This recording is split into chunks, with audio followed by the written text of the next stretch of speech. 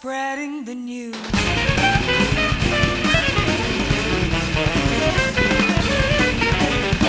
I'm leaving today.